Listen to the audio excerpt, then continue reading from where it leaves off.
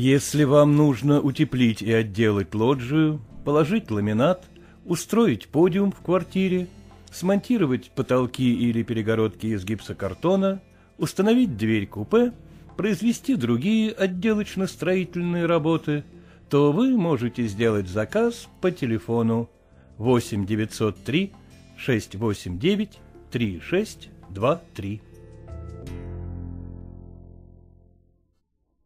Джек Лондон. Кулау прокаженный. Читает Геннадий Постригайло. От того, что мы больны, у нас отнимают свободу. Мы слушались закона, мы никого не обижали, а нас хотят запереть в тюрьму. Молока и тюрьма, вы это знаете. Вот, Ниули, его сестру семь лет как услали на Малакаи. С тех пор он ее не видел. И больше не увидит. Она останется на Малакае до самой смерти. Она не хотела туда ехать. Ниули тоже этого не хотел. Это была воля белых людей, которые правят нашей страной. А кто они, эти белые люди? Мы это знаем. Нам рассказывали о них отцы и деды. Они пришли смирные, как ягнята, с ласковыми словами. Оно и понятно, ведь нас было много, мы были сильны, и все острова принадлежали нам. Да, они пришли с ласковыми словами. Они разговаривали с нами по-разному. Одни просили разрешить им, милостиво разрешить им проповедовать нам Слово Божье. Другие просили разрешить им, милостиво разрешить им торговать с нами. Но это было только начало. А теперь они забрали себе все острова, всю землю, весь скот. Слуги Господа Бога и слуги Господа Рома действовали заодно и стали большими начальниками. Они живут, как цари, в домах о многих комнатах, и у них толпы слуг. У них ничего не было, а теперь они завладели всем. И если вы или я, или другие канаки голодают, они смеются и говорят, а ты работай на той плантации. Кулау замолчал. Он поднял руку и скрюченными узловатыми пальцами снял с черноволосой головы сверкающий венок из цветов мальвы. Лунный свет заливал ущелье серебром, ночь дышала мирным покоем. Но те, кто слушал Кулау, казались воинами, пострадавшими в жестоком бою. Их лица напоминали львиные морды. У одного на месте носа зияла дыра, у другого с плеча свисала култышка, остаток сгнившей руки. Их было тридцать человек, мужчин и женщин, тридцать отверженных, ибо на них лежала печать зверя. Они сидели, увенчанные цветами, в душистой, пронизанной светом мгле, выражая свое одобрение речи Кулау нечленораздельными хриплыми криками. Когда-то они были людьми, но теперь это были чудовища, изувеченные и обезображенные, словно их веками пытали в аду, Страшная карикатура на человека. Пальцы, у кого они еще сохранились, напоминали когти гарпий. Лица были, как неудавшиеся забракованные слепки, которые какой-то сумасшедший бог, играя, разбил и расплющил в машине жизни. Кое у кого этот сумасшедший бог попросту стер половину лица, а у одной женщины жгучие слезы текли из черных впадин, в которых когда-то были глаза. Некоторые мучились и громко стонали от боли. Другие кашляли, и кашель их походил на треск рвущейся материи. Двое были идиотами, похожими на огромных обезьян, созданных так неудачно, что по сравнению с ними обезьяна показалась бы ангелом. Они кривлялись и бормотали что-то, освещенное луной в венках из тяжелых золотистых цветов. Один из них, у которого раздувшееся ухо свисало до плеча, сорвал яркий оранжево-алый цветок и украсил им свое страшное ухо, колыхавшееся при каждом его движении. И над этими существами Кулау был царем. А это захлебнувшееся цветами ущелье, зажатое между зубчатых скал и утесов, откуда доносилось блеяние диких коз, было его царством. С трех сторон поднимались мрачные стены, увешанные причудливыми занавесями из тропической зелени и чернеющие входами в пещеры, горные берлоги его подданных. С четвертой стороны долина обрывалась в глубочайшую пропасть, и там, вдалеке, виднелись вершины более низких гор и хребтов, у подножия которых гудел и пенился океанский прибой. В тихую погоду к каменистому берегу входа в долину Калалау можно было подойти на лодке, но только в очень тихую погоду и смелый горец смог проникнуть с берега в верхнюю часть долины, в зажатое скалами ущелье, где царствовал Кулау. Но такой человек должен был обладать большой смелостью и к тому же знать еле видимые глазу козьи тропы. Казалось невероятным, что жалкие беспомощные калеки, составлявшие племя Кулау, сумели пробраться по головокружительным тропинкам в это неприступное место. «Братья!» — начал Кулау. Но тут один из косноязычных обезьяноподобных уродов издал безумный звериный крик, и Кулау замолчал, дожидаясь, когда отзвуки этого пронзительного вопля, перекатившись между скалистыми стенами, замрут вдали в неподвижном ночном воздухе. «Братья, неудивительно ли? Нашей была эта земля, а теперь она не наша. Что дали нам за нашу землю эти слуги Господа Бога и Господа Рома? Получил ли кто-нибудь из вас за нее хоть доллар, хоть один доллар? Они стали хозяевами, и теперь говорят нам, что мы можем работать на земле, на их земле, и что плоды наших трудов тоже достанутся им. В прежние дни нам не нужно было трудиться, и ко всему этому теперь, когда нас поразила болезнь, они отнимают у нас свободу. — А кто принес нам эту болезнь, Кулау? — спросил сухопарый жилистый Килолиана, который лицом так напоминал смеющегося фавна, что, казалось, вместо ног у него должны быть копыта. Но это были не копыта, а ноги, только все в крупных язвах и лиловых пятнах гниения. А когда-то Килолиана смелее всех карабкался по горам и знал все козьи тропинки. Он-то и привел Кулау и его несчастный народ в безопасные верховья Калалау. — Это правильный вопрос, — ответил Кулау. От того, что мы не хотели работать на их сахарных плантациях, где раньше паслись наши кони, они привезли из-за моря рабов китайцев. А с ними пришла китайская болезнь, та самая, которой мы болеем, из-за которую нас хотят заточить на Малакае.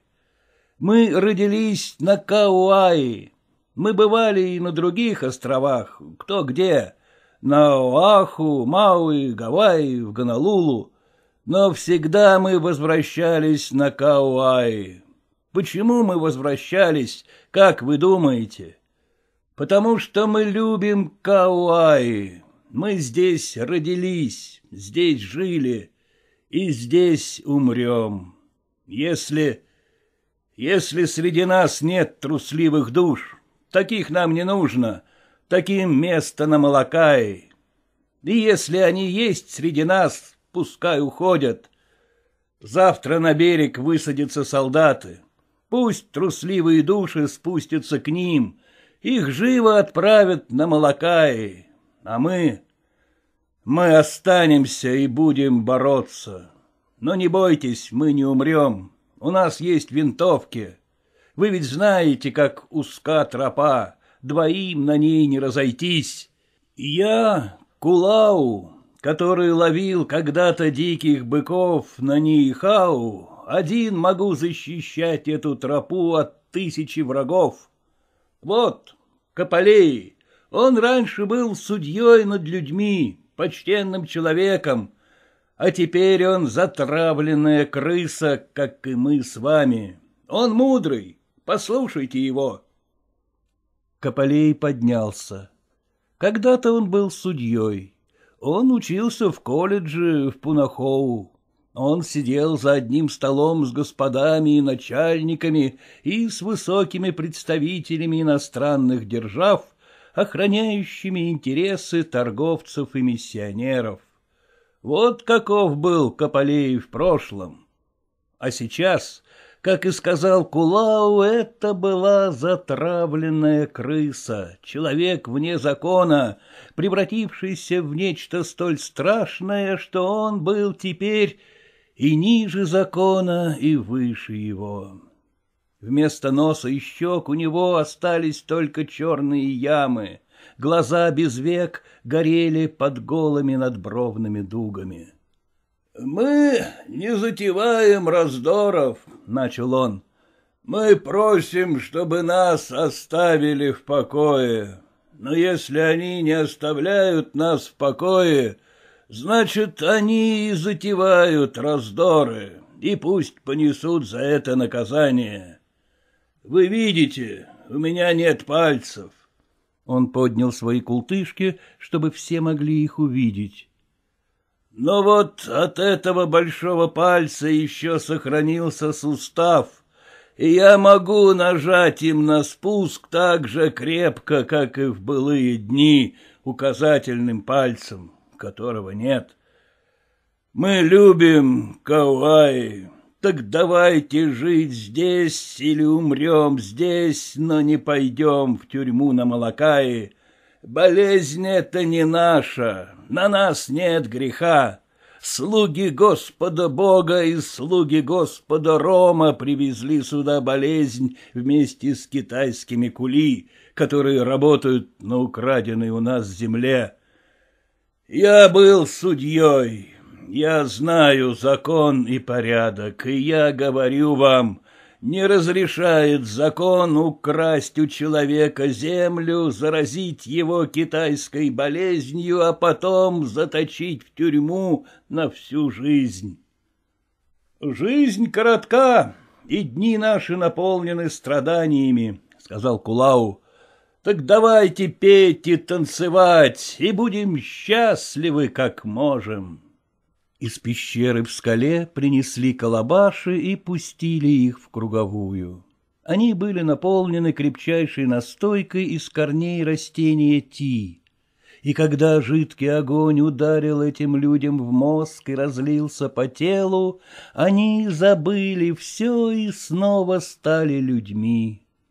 В женщине, проливавшей жгучие слезы из пустых глазниц, проснулись прежние чувства, и она, перебирая струны своей гитары, запела любовную песню дикарки, песню, что родилась в темных лесных чащах первобытного мира. Воздух дрожал от ее голоса, властного и зовущего. На циновке, подчиняясь ритму песни, плясал Килолиана. Каждое его движение излучало любовь, и рядом с ним на циновке плясала женщина, чьи пышные бедра и высокая грудь странно не вязались с изъеденным болезнью лицом. То была пляска живых мертвецов, ибо в их разлагающихся телах еще таились и любовь, и желания. Все громче звучала любовная песня женщины, проливавшей жгучие слезы из невидящих глаз. Все упоеннее плясали танцоры пляску любви в теплой ночной тишине. Все быстрее ходили по рукам колобаши, и упорным огнем тлели у всех в мозгу воспоминания и страсть. Рядом с женщиной на циновке плясала тоненькая девушка. Лицо у нее было красивое и чистое, но на скрюченных руках, поднимавшихся и падавших в пляске, болезнь уже оставила свой разрушительный след. А оба идиота, страшная отвратительная пародия на человека, плясали поодаль, бормоча и хрипя что-то невнятное, пародируя любовь. Но вот любовная песня женщины оборвалась на полуслове, опустились на землю колобаши и кончилась пляска. Взгляды всех устремились в пропасть, к морю, над которым в залитом луною воздухе призрачным огнем сверкнула ракета. — Это солдаты, — сказал Кулау. — Завтра будет бой. Нужно подкрепиться сном и подготовиться. Прокаженные повиновались и уползли в свои норы, и скоро Кулау остался один. Он сидел неподвижно в свете луны, положив на колени винтовку и глядя вниз на далекий берег, к которому приставали лодки. Здесь, наверху, Долина Калалау была надежным убежищем, если не считать Килолианы, знавшего обходные тропы в отвесных стенах ущелья, никто не мог добраться сюда, кроме как по острому горному гребню. Гребень этот тянулся на сотню ярдов в длину. В ширину он был не больше двенадцати дюймов. По обе стороны его зияли пропасти. Стоило поскользнуться, и справа и слева человека ждала верная смерть. Но в конце пути перед ним открывался земной рай. Море зелени омывало ущелье, заливая его от стены до стены зелеными волнами, стекая со скалистых уступов обильными струями лос и разбрызгивая по всем расщелинам пену папоротников и воздушных корней. Долгие месяцы Кулау и его подданные вели борьбу с этим морем растительности. Им удалось оттеснить буйные цветущие заросли, и теперь бананам, апельсинам и манговым деревьям стало свободнее. На небольших полянках рос дикий арарут. На каменных террасах, покрытых слоем земли, они развели тара и дыни. И на всех открытых местах, куда проникало солнце, поднимались деревья папайя, отекченные золотыми плодами. В это убежище Кулау ушел из низовьев долины, от моря. Если бы пришлось уходить и отсюда, у него были на примете другие ущелья еще выше среди громоздящихся горных вершин. И теперь он сидел, положив рядом с собой винтовку, и вглядывался сквозь завесу листвы в солдат на далеком берегу он разглядел, что они привезли с собой тяжелые пушки, отражавшие солнце, как зеркала. Прямо перед ним тянулся острый гребень. По тропинке, ведущей к нему, снизу ползли крошечные точки — люди. Кула узнал, что это не солдаты, а полиция. У этих ничего не выйдет, и вот тогда за дело возьмутся солдаты. Он любовно провел искалеченной рукой по стволу винтовки и проверил прицел. Стрелять он научился давно, когда охотился на острове Ниихау, где до сих пор не забыли его меткой стрельбы. По мере того, как движущиеся точки приближались и увеличивались, Кулау определял дистанцию с поправкой на ветер, дувший сбоку, и учитывал возможность перелета по таким низко расположенным целям. Но стрелять он не стал. Он дал им добраться до начала острова гребня и только тогда обнаружил свое присутствие. Он спросил, не выходя из зарослей. — Что вам нужно? — Нам нужен Кулау прокаженный, — ответил начальник отряда туземной полиции, голубоглазый американец. — Уходите обратно, — сказал Кулау. Он знал этого человека, это был шериф, тот, кто не дал ему жить на Нейхау и прогнал его через весь Кауаи в долину Калалау, а оттуда вверх, в ущелье. — Кто ты? — спросил шериф. — Я Кулау прокаженный. — Тогда выходи. Ты нам нужен, живой или мертвый. Твоя голова оценена в тысячу долларов. Тебе не уйти. Кулау громко рассмеялся в своем тайнике.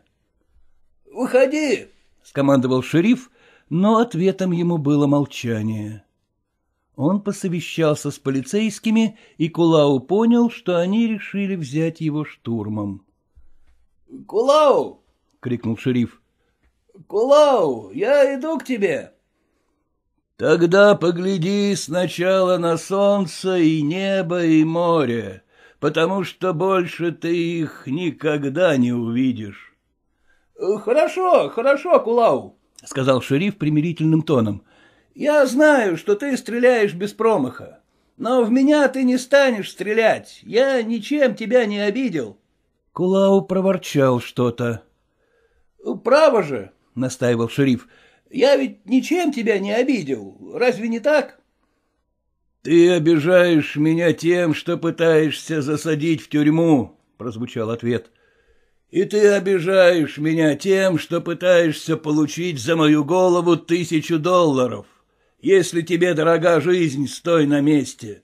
— Я должен до тебя добраться. Что поделаешь, это мой долг.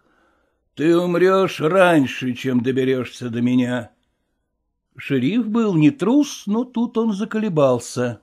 Он посмотрел вниз, в пропасть, окинул взглядом острый как нож гребень и решился. — Кулау! — крикнул он. Заросли молчали. — Кулау, не стреляй, я иду. Шериф повернулся к полицейским, отдал им какое-то приказание и пустился в свой опасный путь. Он шел медленно. Это напоминало ему ходьбу по канату. Кроме воздуха ему не за что было ухватиться. Камни сыпались у него из-под ног и стремительно летели в пропасть. Солнце палило, и по лицу у него катился пот. Но он все шел и, наконец, достиг половины пути. — Стой! — скомандовал Кулау из зарослей. — Еще шаг, и я стреляю. Шериф остановился, покачиваясь над бездной, чтобы удержать равновесие. Он побледнел, но во взгляде его была решимость. Он облизал пересохшие губы и заговорил. — Кулау, ты не убьешь меня! Я знаю, что не убьешь! Он снова двинулся вперед. Пуля заставила его перевернуться волчком. Когда он падал, на лице его промелькнуло сердитое недоумение. Он успел подумать, что если упасть на острый гребень, то еще можно спастись. Но тут смерть настигла его. Секунда, и гребень был пуст. И тогда пятеро полицейских один за другим смело пустились бегом по острому гребню, а остальные тут же открыли огонь по зарослям. Это было безумие. Кулау нажимал курок так быстро, что пять выстрелов прогремели почти непрерывной очередью. Пригнувшись к самой земле от пуль, со свистом прорезавших кусты, он выглянул из зарослей. Четверо полицейских исчезли так же, как их начальник. Пятый, еще живой, лежал поперек гребня. На дальнем конце толпились остальные полицейские, уже переставшие стрелять. Положение их на этой голой скале было безнадежным. Кулау мог снять их всех до последнего, не дав им спуститься. Но он не стрелял, и после короткого совещания один из полицейских снял с себя белую рубашку и помахал ею, как флагом. Потом он, за ним и другой, пошли по гребню к раненому товарищу. Не выдавая себя ни одним движением, Кулау смотрел, как они медленно отступали и, спустившись вниз в долину, снова превратились в темные точки.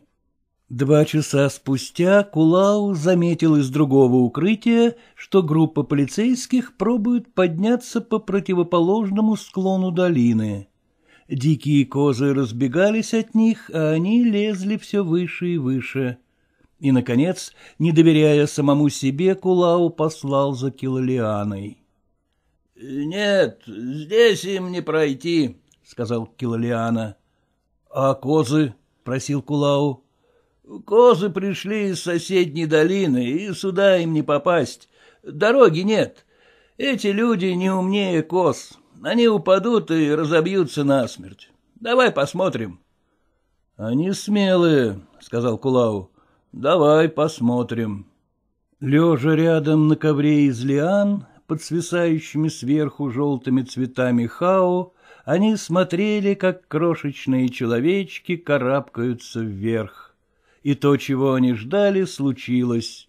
Трое полицейских оступились, упали и, докатившись до выступа, камнем полетели вниз. Килолиана усмехнулся. —— Больше нас не будут тревожить, — сказал он. — У них есть пушки, — возразил Кулау. — Солдаты еще не сказали своего слова. Разморенные жарой, прокаженные спали в пещерах.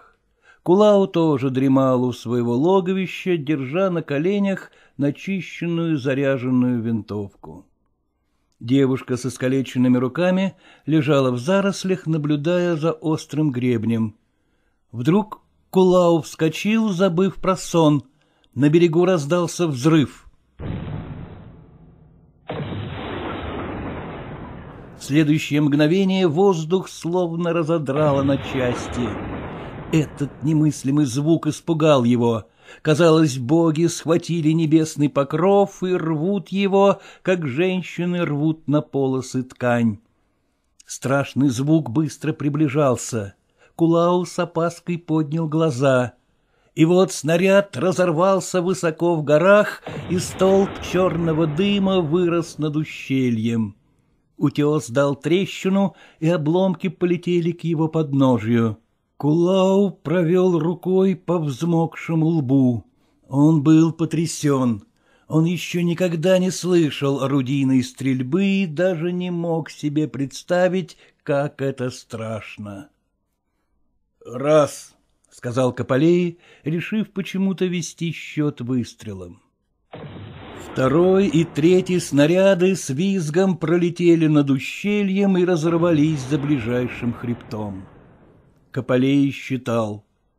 Прокаженные высыпали на открытое место перед пещерами.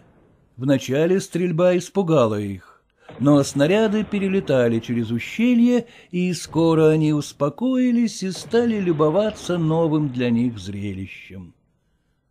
Оба идиота визжали от восторга и принимались кривляться и прыгать всякий раз, как воздух раздирало снарядом. Кулау почти успокоился. Пушки не причиняли вреда. Наверное, такими большими снарядами и на таком расстоянии невозможно стрелять метко, как из винтовки. Но вот что-то изменилось. Теперь снаряды не долетали до них.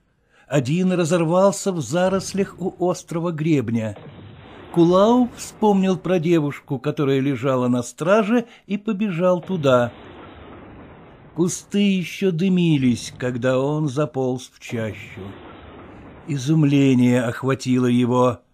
Ветки были поломаны, расщеплены. Там, где он оставил девушку, в земле была яма. Девушку разорвало в клочья. Снаряд попал прямо в нее. Выглянув из кустов и убедившись, что на гребне нет солдат, Кула упустился бегом обратно к пещерам. Снаряды летели над ним своим свистом, стоном, и вся долина гудела и сотрясалась от взрывов. Перед пещерами весело скакали оба идиота, вцепившись друг в друга полусгнившими пальцами. И вдруг Кулау увидел, как рядом с ним из земли поднялся столб черного дыма. Взрывом их отшвырнуло в разные стороны. Один лежал неподвижно, другой на руках пополз к пещере. Ноги его волочились по земле, из ран хлестала кровь. Он был весь в крови и скулил, как собачонка. Все остальные, кроме Каполеи, попрятались в пещеры. — Семнадцать, — сказал Каполей и тут же добавил. — Восемнадцать. Восемнадцатый снаряд упал у самого входа в одну из пещер. Прокаженные высыпали на волю, но из этой пещеры никто не показывался. Кулау вполз в нее, задыхаясь от едкого вонючего дыма. На земле лежали четыре изуродованных трупа. Среди них была женщина с невидящими глазами, у которой только теперь иссякли слезы. Подданных Кулау охватила паника, и они уже двинулись по тропе, уводившей из ущелья вверх, в хаос вершин и обрывов. Раненый идиот, тихо подвывая, тащился по земле, стараясь поспеть за остальными. Но у самого начала подъема силы изменили ему, и он скорчился и затих. — Его нужно убить, — сказал Кулау, обращаясь к Каполеи, который сидел там же, где и раньше. — Двадцать два, — ответил Каполеи. — Да, лучше убить его. Двадцать три, двадцать четыре. Увидев направленное на него дуло, идиот громко взвизгнул.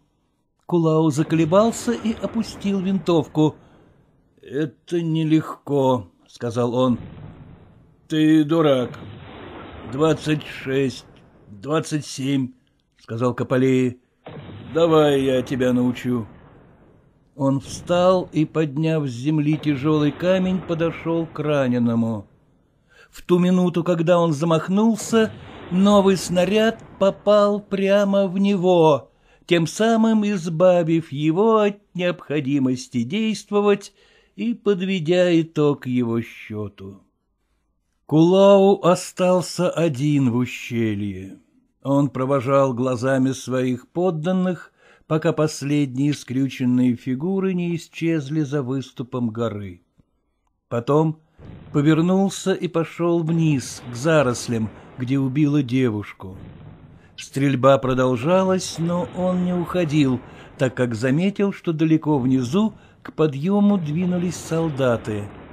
Один снаряд разорвался в десяти шагах от него — Распластавшись на земле, Кула услышал, как осколки пролетели над ним.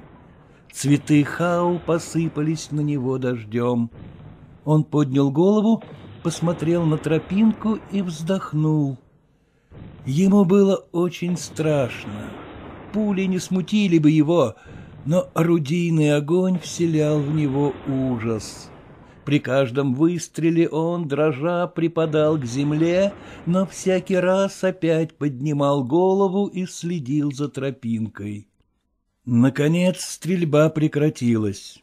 Верно потому решил он, что солдаты уже близко. Они ползли по тропинке гуськом, и он стал было считать их, но сбился со счета. Их было не меньше сотни — и все они пришли за ним, кулау прокаженным. На мгновение в нем вспыхнула гордость. С винтовками и пушками, с полицией и солдатами они идут за ним, а он один, да еще больной, калека.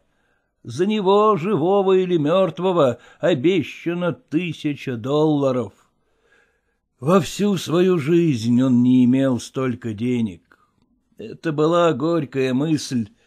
Каполей сказал правду. Он, Кулау, никому не сделал зла. Просто белым людям нужны были рабочие руки на краденой земле, и они привезли китайских кули, а с ними пришла болезнь. И теперь от того, что его заразили этой болезнью, он стоит тысячу долларов. Но ему-то их не получить. Его труп, сгнивший от болезни или разорванный снарядом, вот за что будут выплачены эти огромные деньги. Когда солдаты добрались до острова Гребня, Кулау хотел было предупредить их, но взгляд его упал на убитую девушку, и он смолчал. Когда на тропинке показался шестой солдат, он открыл огонь и стрелял до тех пор, пока тропинка не опустела.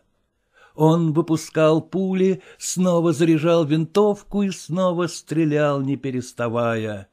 Все старые обиды огнем горели у него в мозгу, им овладела ярость и жажда мщения.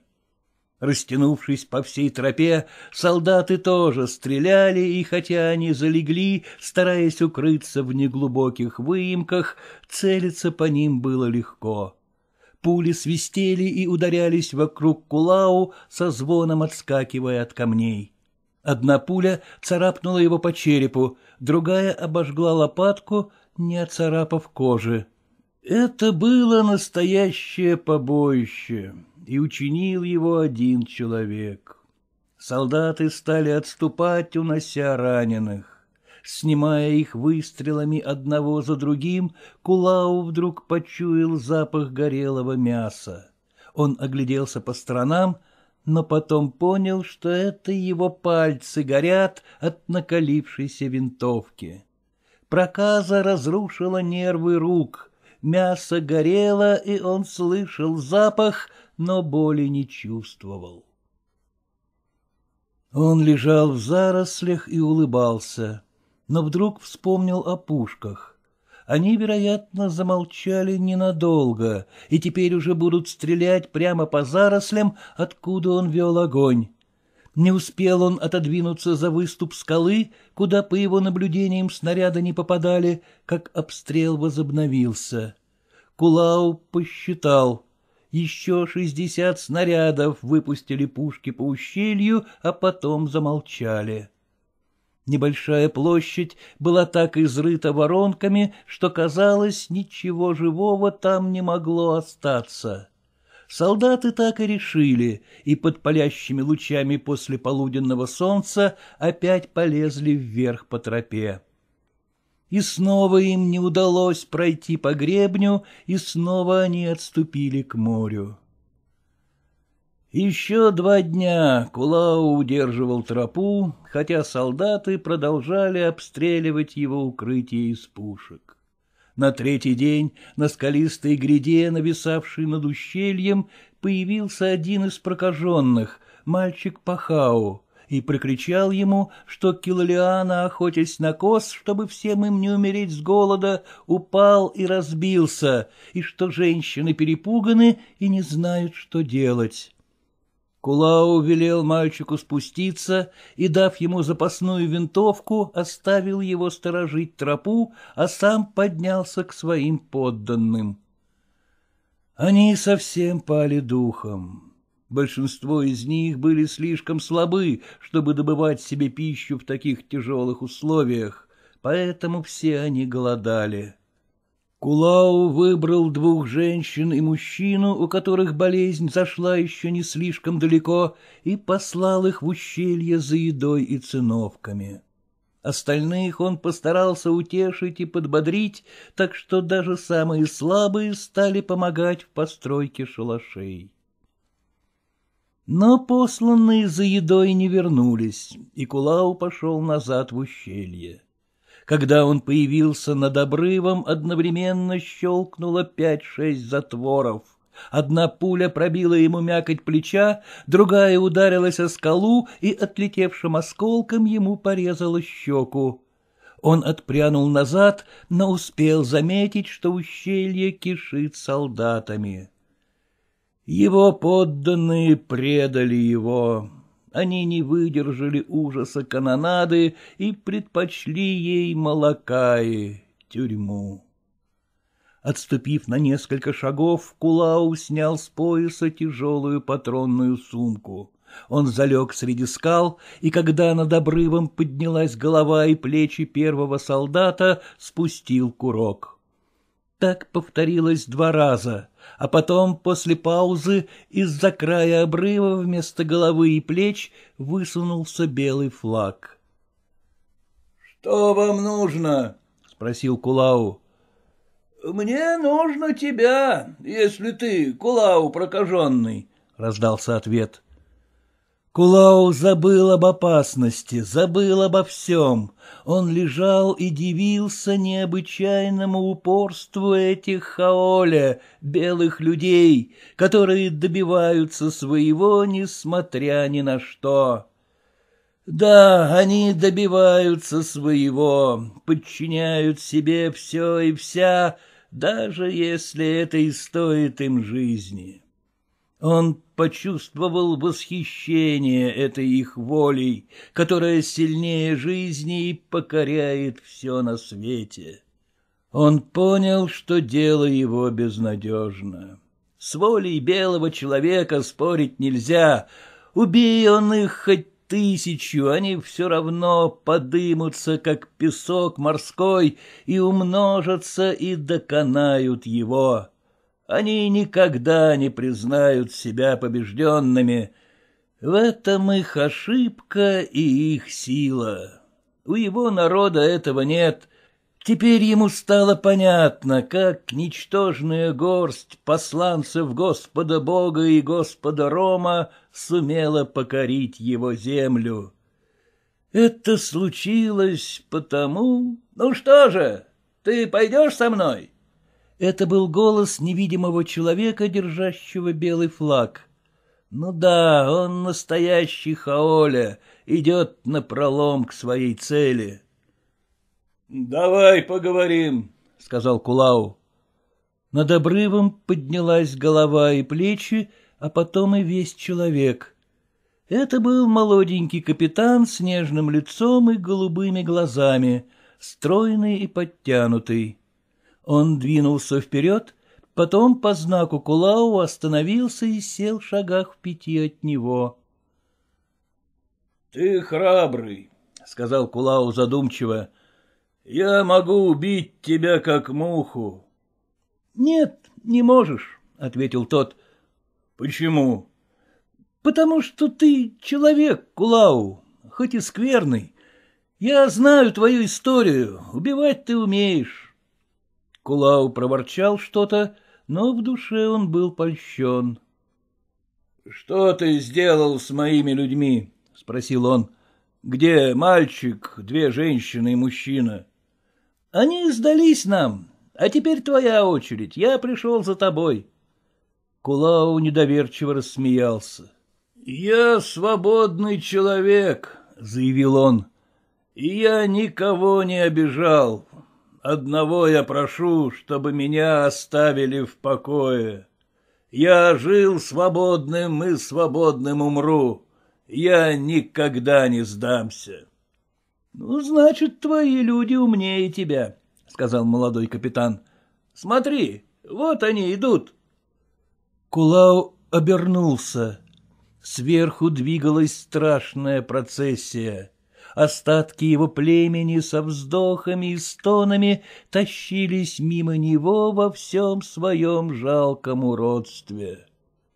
Но Кулау суждено было изведать еще большую горечь, ибо, поравнявшись с ним, они осыпали его оскорбительной бранью, а старуха, замыкавшая шествие, остановилась и, вытянув костлявую руку с когтями гарпии, оскалив зубы и тряся головой, прокляла его. Один за другим — Прокаженные перебирались через скалистую гряду и сдавались притаившимся в засаде солдатам. Теперь ты можешь идти, — сказал Кулау капитану. — Я никогда не сдамся. Это мое последнее слово. Прощай. Капитан соскользнул вниз к своим солдатам. В следующую минуту он поднял надетый на ножны шлем, и пуля, выпущенная Кулау, пробила его насквозь. До вечера они стреляли по нему с берега, и когда он ушел выше в неприступные скалы, солдаты двинулись за ним следом. Шесть недель гонялись они за Кулау среди острых вершин и по козьим тропам. Когда он скрывался в зарослях лантаны, они расставляли цепи загонщиков и гнали его, как кролика, сквозь лантановые джунгли и кусты гуава. Но всякий раз он путал следы и ускользал от них. Настигнуть его не было возможности. Если преследователи наседали вплотную, Кулау пускал в дело винтовку, и они уносили своих раненых по горным тропинкам к морю. Случалось, что солдаты тоже стреляли, заметив, как мелькает в чаще его коричневое тело. Однажды они нагнали его в пятером на открытом участке тропы и выпустили в него все заряды. Но он, хромая, ушел от них по краю головокружительной пропасти. Позже они нашли на земле пятна крови и поняли, что он ранен. Через шесть недель на него махнули рукой. Солдаты и полицейские возвратились в Гонолулу, предоставив ему долину Калалау в безраздельное пользование. Хотя время от времени охотники-одиночки пытались изловить его на свою же погибель. Два года спустя Кулау в последний раз заполз в заросли и растянулся на земле среди листьев ти и цветов дикого имбиря. Свободным он прожил жизнь и свободным умирал. Стал накрапывать дождь, и он закрыл свои изуродованные ноги рваным одеялом. Тело его защищал клеенчатый плащ. Маузер он положил себе на грудь, заботливо стерев со ствола дождевые капли. На руке, вытиравшей винтовку, уже не было пальцев — он не мог бы теперь нажать на спуск. Он закрыл глаза. Слабость заливала тело, в голове стоял туман, и он понял, что конец его близок. Как дикий зверь, он заполз в чащу умирать. В полусознании, в бреду он возвращался мыслью к дням своей юности на Нихао. Жизнь угасала, все тише стучал по листьям дождь, а ему казалось, что он снова объезжает диких лошадей и строптивый двухлеток пляшет под ним и встает на дыбы. А вот он бешено мчится по коралю, и подручные конюхи разбегаются в стороны и перемахивают через загородку. Минуту спустя Совсем не удивившись этой внезапной перемене, он гнался за дикими быками по горным пастбищам и, набросив на них лассо, вел их вниз в долину. А в загоне, где клеймили скот, от пота и пыли ела глаза и щипала в носу. Вся его здоровая, вольная молодость грезилась ему, пока острая боль наступающего конца не вернула его к действительности. Он поднял свои обезображенные руки и в изумлении посмотрел на них. Почему? Как? Как мог он, молодой, здоровый, свободный, превратиться вот в это? Потом он вспомнил все и на мгновение снова стал Кулау прокаженным. Веки его устало опустились, шум дождя затих. Томительная дрожь прошла по телу. Потом и это кончилось. Он приподнял голову, но сейчас же снова уронил ее на траву. Глаза его открылись, и уже не закрывались больше. Последняя мысль его была о винтовке, и, обхватив ее беспалыми руками, он крепко прижал ее к груди.